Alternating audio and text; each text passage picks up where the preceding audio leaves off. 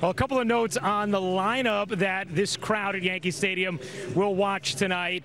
Gleyber Torres, we know he was removed from the game last night with back tightness. He's in there, batting third, playing short. Aaron Boone said no worries. He was actually feeling good last night and is good to go today. Gary Sanchez not in the lineup. Now we know how hot he's been of late.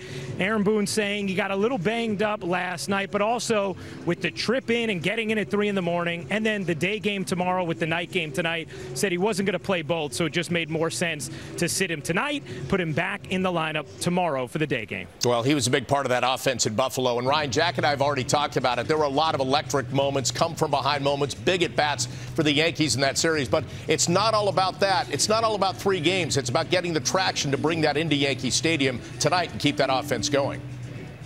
Yeah, the, the offense, Bob, it, it feels like it's started to turn a corner. Certainly, look, this team has scored five or more runs in seven of its last nine games after it had scored just five or more runs in seven of its previous 21 games. Over these last nine games, the team has an OPS of 820. They're really starting to find something up and down the lineup, and Aaron Judge talked about what it is that the lineup is starting to find. I feel like guys were really controlling the zone. You know, that's something I've preached.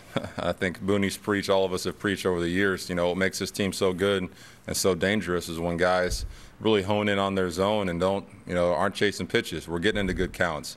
You know, if they leave pitches early in the zone, early in the count or even late in the count in our, you know, in the strike zone, you know, we do damage on it. And I feel like, you know, some of that bats that Gary had were have been really impressive.